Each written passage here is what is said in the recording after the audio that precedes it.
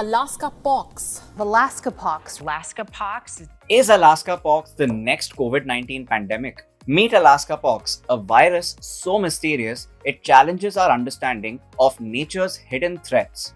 So, what is Alaska pox? And is it really a threat to us? Let's dive into the mystical world of Alaska pox in under two minutes. Identified in 2015, Alaska pox has intrigued scientists by its limited yet notable appearances. So, what is it and why does it matter?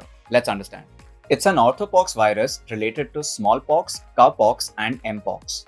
Alaska pox causes flu like symptoms and pox lesions, thankfully, with mild effects.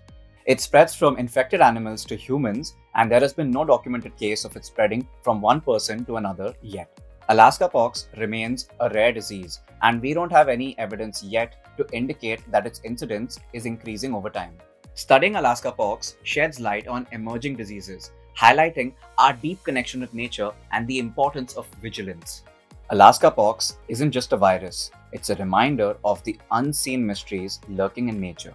In just two minutes, we've uncovered the surface. Until then, stay curious, stay informed, and keep exploring with us. Don't forget to like, share, and subscribe.